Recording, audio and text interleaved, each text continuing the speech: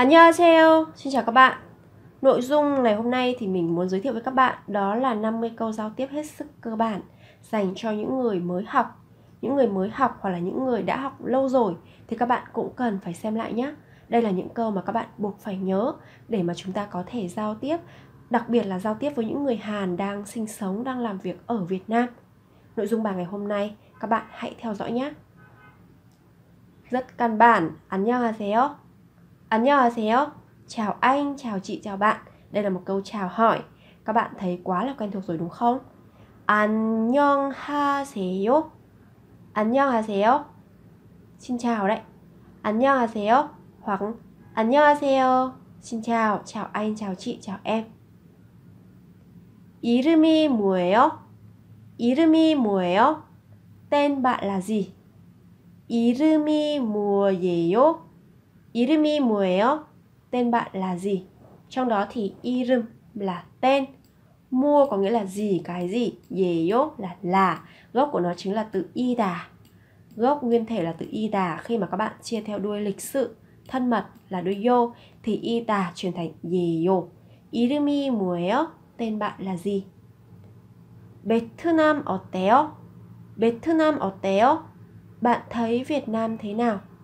Như vậy thì video này mình chủ yếu là dành cho các bạn những cái câu hỏi các bạn có thể sử dụng để nói chuyện với cái người bạn Hàn Quốc đang sinh sống, đang làm việc ở Việt Nam. Chính vì vậy mà chúng ta sẽ có câu hỏi là bệt thư Nam ở téo? Bạn thấy Việt Nam thế nào? Để hỏi về cái cảm nhận của người bạn Hàn Quốc đó. Các bạn thấy gì, suy nghĩ gì về đất nước Việt Nam? bệt thư Nam ở téo? Việt Nam thì thế nào? bệt thư Nam có nghĩa là Việt Nam. Ở téo là thế nào, như thế nào. 베트남에 온 지 얼마나 됐어요? hoặc 베트남에 온 지 얼마나 되었어요? 베트남에 온 지 얼마나 되었어요? Bạn ở Việt Nam bao lâu rồi? Hoặc là bạn đến Việt Nam bao lâu rồi? Các bạn có thể dùng ở đây là bạn đến hoặc là bạn ở, bạn đến Việt Nam. 베트남 온 지 có nghĩa là bạn đến Việt Nam ấy thì 얼마나, 얼마나 là được 얼마나 là được bao lâu đấy bao lâu 되었어요 là đã được 베트남에 온 지 얼마나 되었어요 bạn ở Việt Nam bao lâu rồi hoặc là bạn đến Việt Nam được bao lâu rồi 얼마 동안 베트남에 있을 건가요? 얼마 동안 베트남에 있을 건가요? Bạn sẽ ở Việt Nam trong bao lâu?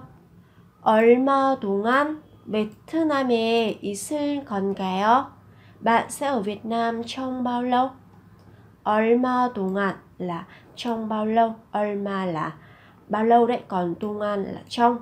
베트남 Việt Nam. 모모에 있다 là có ở. Gốc của nó sẽ là 있다 là có ở nhá.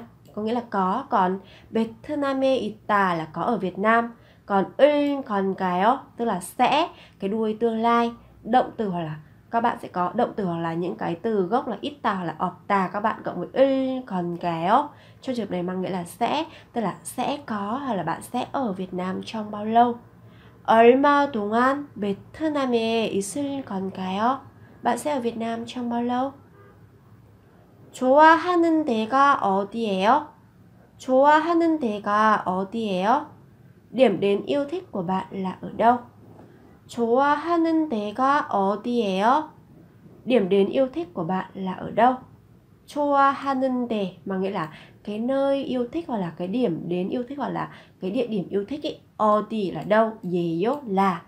좋아하는 데가 어디예요? Cái nơi bạn yêu thích là đâu hoặc là điểm đến yêu thích của bạn là đâu? 베트남 여행 어디에 가봤어요? 베트남 여행 어디에 가봤어요? Bạn đã đến những đâu ở Việt Nam rồi? 베트남 여행 어디에 가봤어요? Bạn đã đến đâu hoặc là bạn đã đến những đâu ở Việt Nam hoặc là đi du lịch ở Việt Nam thì bạn đã đến những nơi nào rồi? 베트남 여행 có nghĩa là du lịch Việt Nam. 어디 có nghĩa là đâu, mua e là ở, ở đâu. 가봤어요? Các bạn có từ 가보다, gốc của nó là 가보다 mang nghĩa là đến xem ấy, đã thử đến xem ấy thì 어디에 가봤어요? Có nghĩa là bạn đã thử đến xem những cái nơi nào. 베트남 여행 어디에 가봤어요? Bạn đã đến những đâu ở Việt Nam rồi? 누구랑 같이 살아요? 누구랑 같이 살아요? Bạn sống cùng ai? Có thể hỏi đó là gì? Bạn sống cùng ai ở Việt Nam đấy? 누구랑 같이 살아요? Bạn sống cùng ai? nugu là ai? Rang. Các bạn sẽ có từ rang này nó mang nghĩa là với hoặc là cùng với. Kachi là cùng cùng nhau đấy. Cùng với sẽ là nukurang kachi là cùng với ai? Sa ráo gốc của nó chính là động từ saenta là sống.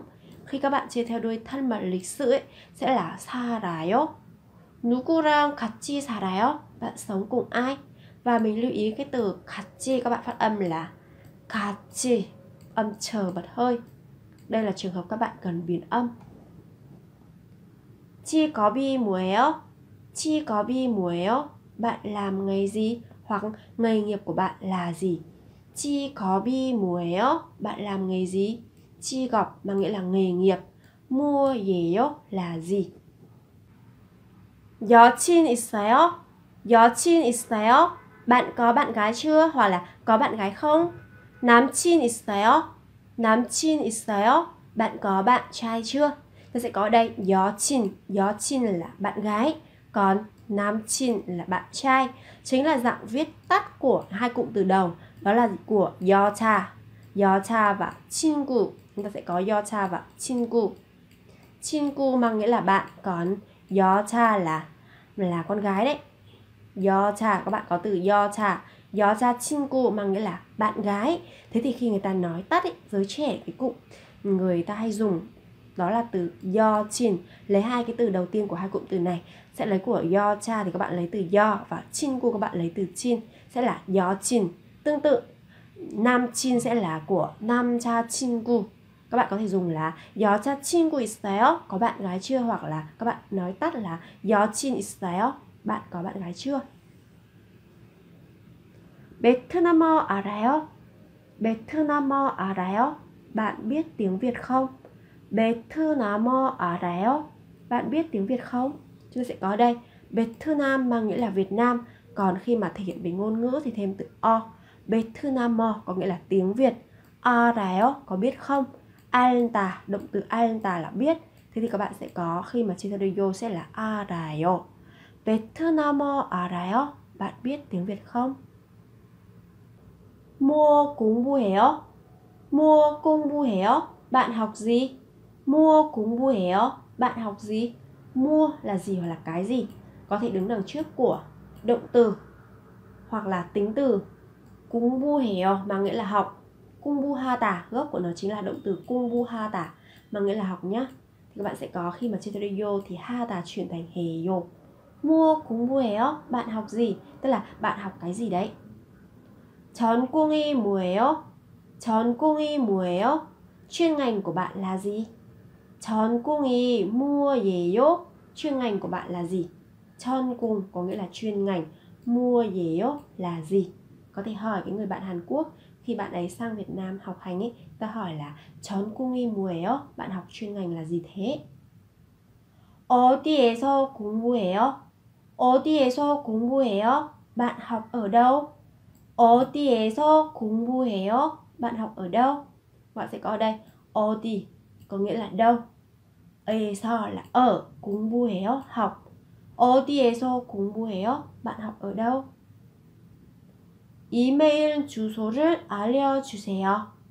이메일 주소를 알려주세요. Hãy cho tôi biết địa chỉ email. 이메일 주소를 알려주세요. Hãy cho tôi biết địa chỉ email. Email có nghĩa là email đấy. 주소 là địa chỉ.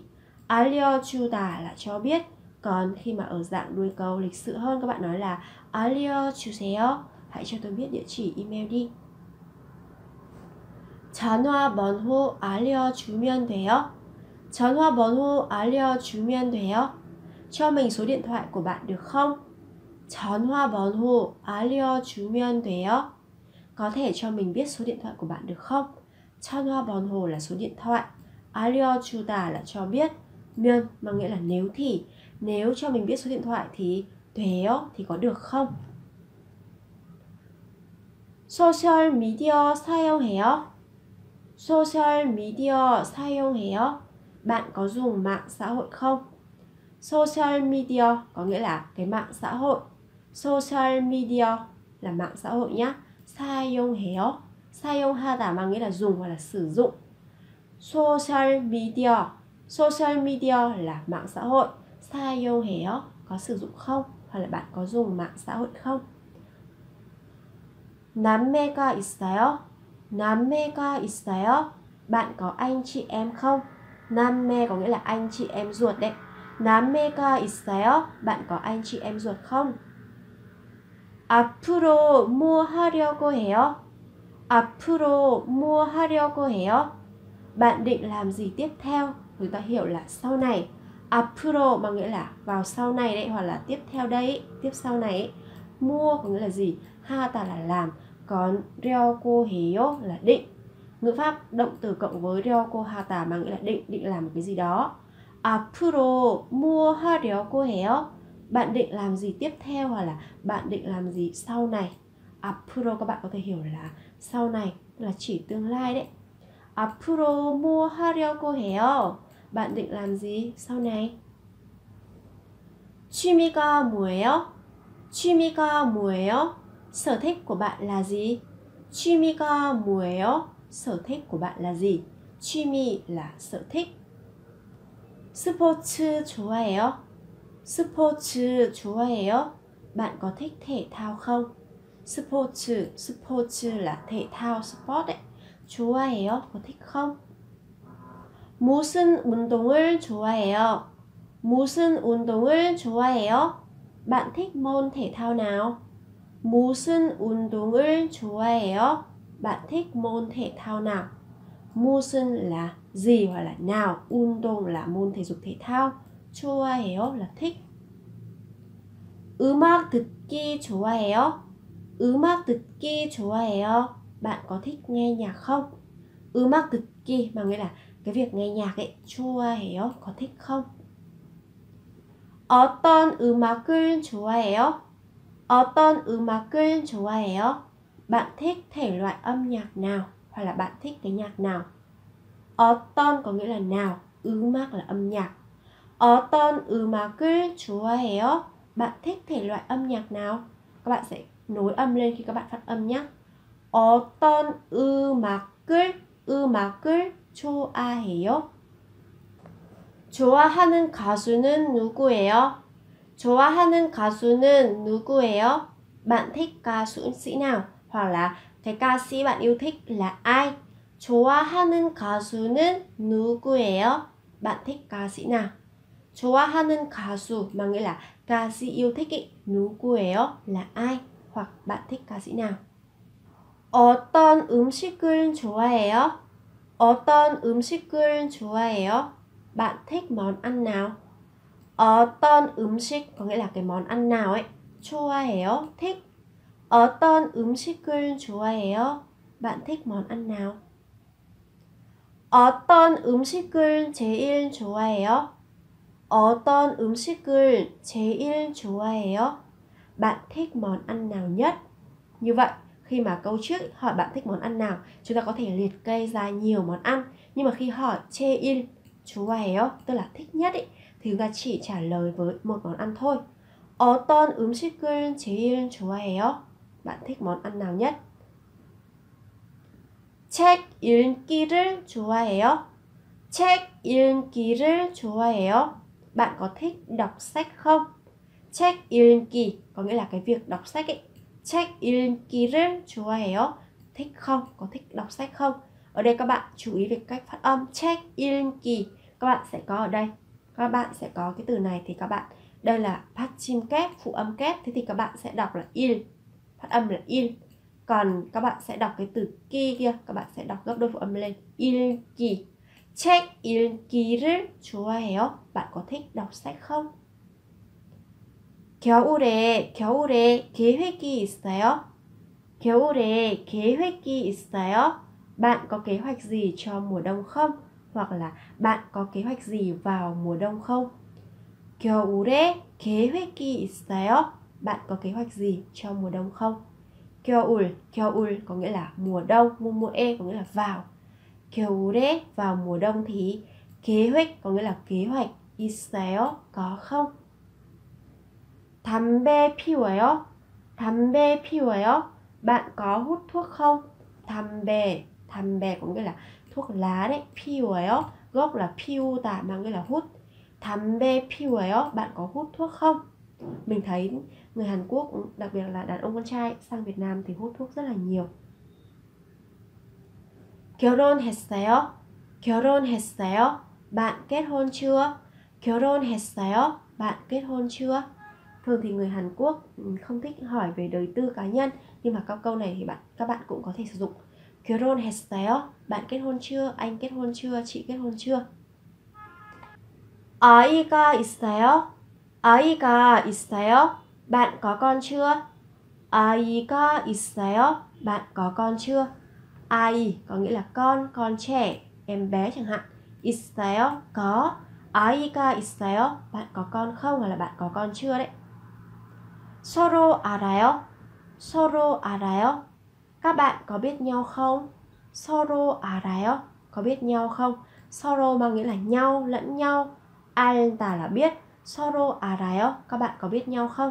Tức là có thể hiểu là trong một cái cuộc trò chuyện nhắc đến người này người kia hoặc là có xuất hiện của người thứ ba người thứ tư chẳng hạn thì chúng ta sẽ hỏi là các bạn có biết nhau không tức là anh có biết cái người này không 서로 알아요 các bạn có biết nhau không 어떻게 알아요 어떻게 알아요 làm sao các bạn biết nhau hoặc trong trường hợp khác các bạn có thể hiểu là làm sao mà anh biết 어떻게 알아요 tùy trong trường hợp mà các bạn có thể hiểu là khi mà đang nói về mối quan hệ giữa người này người kia thì chúng ta sẽ dịch là làm sao các bạn biết nhau. Hoặc khi mà đang nói về cái một vấn đề khác thì các bạn nói là otoke arayo làm sao mà anh biết được? Thì có thể là làm sao mà anh biết được, cô ấy đã kết hôn hoặc là làm sao mà anh biết được hôm nay là ngày kỷ niệm, ngày cưới của chúng tôi. Thì tùy từng trường hợp mà các bạn sẽ linh hoạt dịch cái câu này nhé otoke arayo làm sao anh biết hoặc là làm sao bạn biết hoặc làm sao các bạn biết? 어떻게 đối với từ này thì các bạn cần chú ý các bạn phát âm là 어떻게 cái từ kia thì các bạn cần đọc nối phụ âm hờ và khờ lên thành âm khờ 어떻게 là như thế nào 알아요 như thế nào mà biết được 왜 베트남에 왔어요? 왜 베트남에 왔어요? Tại sao bạn đến Việt Nam? 왜 베트남에 왔어요? Tại sao lại đến Việt Nam hoặc là tại sao anh đã đến Việt Nam? Anh đến Việt Nam làm gì đấy? 왜 là tại sao đứng đằng trước của động từ 베트남에 왔어요 là đã đến Việt Nam. Tại sao anh đến Việt Nam? Bạn đến Việt Nam. 왜 하노이에 왔어요? 왜 하노이에 왔어요? Tại sao bạn đến Hà Nội? 왜 tại sao? Hanoi, Hà Nội đấy. 뭐뭐에 왔어요 là đã đến đâu đó. Cụ thể 하노이에 왔어요 đã đến Hà Nội. 왜 하노이에 왔어요? Tại sao anh đến Hà Nội? 어디서 일해요? 어디서 일해요? Bạn làm việc ở đâu? 어디서 일해요? Bạn làm việc ở đâu? 어디서 là ở đâu? 일해요? làm việc. 베트남 교통이 어때요? 베트남 교통이 어때요? Giao thông Việt Nam thế nào? 베트남 교통이 어때요? Giao thông Việt Nam thế nào? Cụ thể tương tự các bạn có thể hỏi nhiều hơn là gì nhỉ? Ví dụ Thời tiết Việt Nam thế nào? Các bạn sẽ thay vào đây vị trí đó là 날씨. 베트남 날씨 어때요? Hoặc là món ăn sẽ là 음식. Các bạn sẽ có ở đây 음식 có nghĩa là 베트남 음식 어때요? 베트남 음식 어때요? Như vậy nha, các bạn thay thế ở đây bằng nhiều những danh từ khác. Ví dụ 베트남 교통이 어때요? giao thông Việt Nam thế nào hoặc 베트남 음식이 어때요? Món ăn Việt Nam thế nào hoặc 베트남 날씨가 어때요? Thêm trợ từ ca là thời tiết Việt Nam thế nào. 베트남에 살 때 불편한 것이 있어요? 베트남에 살때 불편한 것이 있어요? Có gì bất tiện khi sống ở Việt Nam không? 베트남에 살때 불편한 것이 있어요? Bạn có cái gì bất tiện khi sống ở Việt Nam không?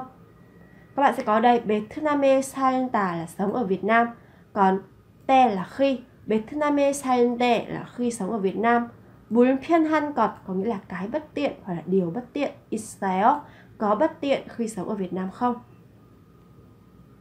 가족이 보고 싶어요 가족이 보고 싶어요 bạn nhớ gia đình không các bạn sẽ có ở đây các bạn chú ý về khoảng cách một chút nhé các bạn tách hai cái từ này ra 가족이 보고 싶어요 bạn nhớ gia đình không động từ là 보고 싶다 là nhớ 가족 là gia đình 생일이 언제예요? 생일이 언제예요? Khi nào là sinh nhật của bạn? 생일이 언제예요? Khi nào là sinh nhật của bạn? 생일 có nghĩa là ngày sinh, ngày sinh nhật. 언제 là khi nào? 예요 là. 베트남 교통이 복잡해요.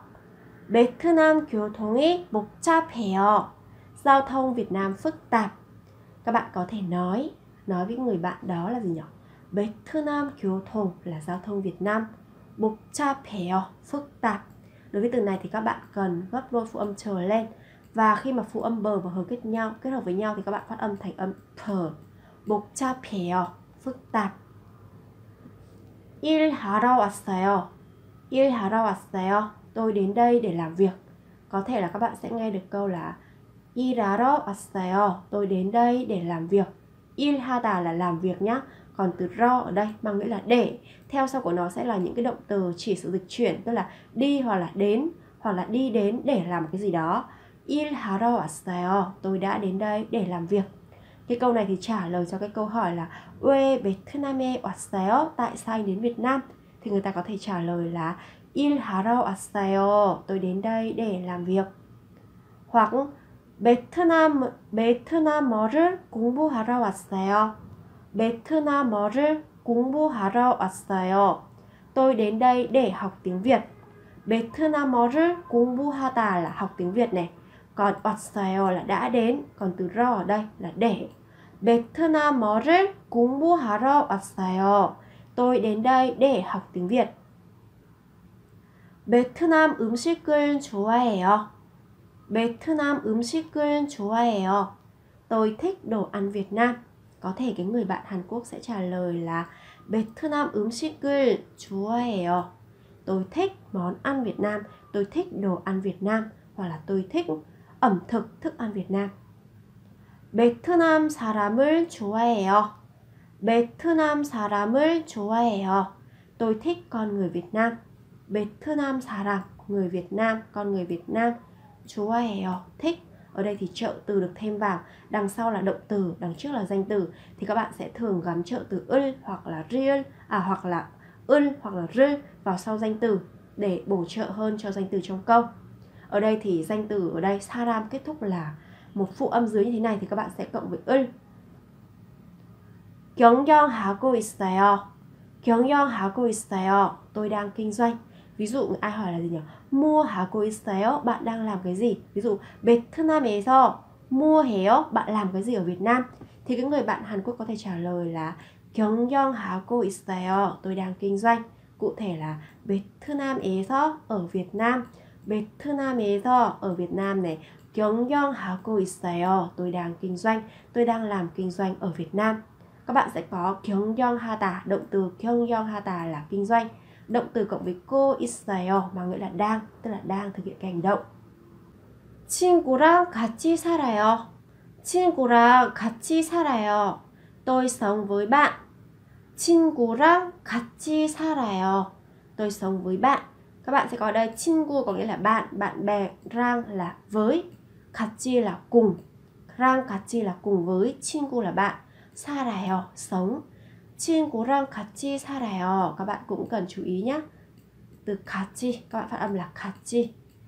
Tức là câu này trả lời cho câu hỏi là 누구랑 같이 살아요? Bạn sống với ai? Thì khi mà trả lời có thể trả lời là 친구랑 같이 살아요. Tôi sống với bạn. Hoặc là nếu mà sống một mình sẽ là 혼자. Các bạn sẽ có từ 혼자 có nghĩa là một mình đấy. 혼자 살아요. Tôi sống một mình.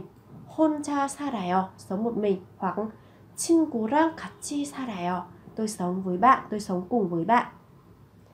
얼마 안 됐어요. 얼마 안 됐어요.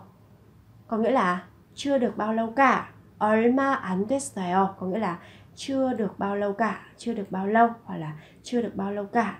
Thì tùy từng trường hợp các bạn có thể dịch là tôi đến chưa được bao lâu cả. Ví dụ 베트남, 베트남에 온 지 얼마나 되었어요? Có nghĩa là bạn đến Việt Nam được bao lâu rồi? Thì cái câu này trả lời cho câu hỏi đó là 얼마 안 됐어요. tôi đến chưa được bao lâu cả. 나 정말 이곳이 너무 좋아. 나 정말 이곳이 너무 좋아. Tôi thực sự thích nơi này. Na có nghĩa là tôi, chị, mình đây là một từ xưng hô ở cái cấp độ là ngang bằng hoặc là cấp độ người trên nói với người dưới. 정말 là thực sự. Y cột có nghĩa là cái nơi này. 너무 là quá lắm. 좋아. 좋아 mang nghĩa là được là tốt hoặc các bạn hiểu là thích. 나 정말 이곳이 너무 좋아. tôi thực sự thích nơi này hoặc là 나 정말 베트남이 베트남이 너무 좋아. tôi thực sự thích Việt Nam thì như vậy đây là những cái câu mà các bạn có thể hỏi có thể hỏi hoặc là có thể nghe được khi người bạn Hàn Quốc trả lời đây là những cái câu mà chúng ta dùng để nói hết sức căn bản thôi khi mà trò chuyện trong những cái lần đầu gặp người bạn Hàn Quốc của chúng ta các bạn hãy ghi nhớ nhé để chúng ta có thể nói chuyện một cách thật là tự nhiên những câu này hết sức căn bản Cảm ơn các bạn đã theo dõi bài học ngày hôm nay. Đừng quên nhấn subscribe, đăng ký kênh để có thể theo dõi những cái video sau nữa nhé. Chào các bạn, hẹn gặp lại các bạn. 여러분 감사합니다.